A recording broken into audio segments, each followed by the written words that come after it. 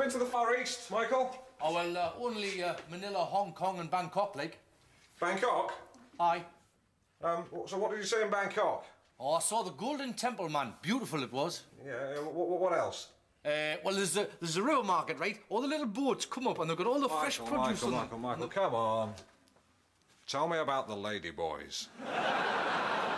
Mean them transsexuals? I, I seen them, but, you know, they're disgusting. I kept away from them. Oh, God, yeah, yeah. Fascinating creatures, though. Lo- looks like a lady, but uh, really it's a man. I don't find them attractive, it's just confusing. Because you've uh, got any army stories about them.